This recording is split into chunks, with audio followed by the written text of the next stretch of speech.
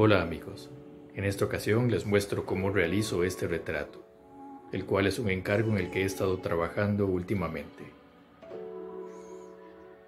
Como pueden ver, lo hice a lápiz de color.